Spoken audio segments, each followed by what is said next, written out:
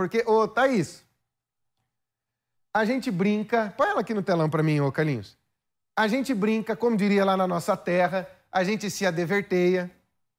Mas quando acaba o gás em casa, e é aquele último dinheiro que a gente tem achando que vai sair com os amigos tomar uma, acaba o gás. E agora nós vamos ter que reservar mais dinheiro na hora que acabar o gás. Thaís, onde é que nós vamos parar, Thaís? Não sei, meu filho, não sei não. Negócio é comprar lenha, fazer fogueira. Eu acho que é, é o mais, mais barato hoje em dia, porque ó, vem mais um aumento aí, 7% de aumento por conta da inflação, reajuste dos, dos funcionários também, mas dessa vez não foi da Petrobras, mas das distribuidoras. Esse aumento foi repassado, vai ser repassado para o consumidor. Ah, mas relaxa, é só em setembro. Ah, mas setembro é amanhã. Então, a partir de amanhã já tem esse aumento. Então, mais um para o bolso da gente aí. E a gente vai ter que, que rebolar, Riva. O é, negócio é fazer fogueira, sei lá, alguma coisa assim, porque tá complicado.